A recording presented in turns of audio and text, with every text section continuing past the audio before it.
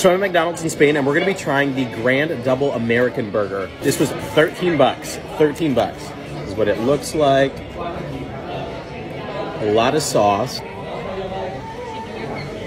Mm. These patties are so thick. I got sauce all over my face. Follow Tastes for like a burger I would get like at a brewery.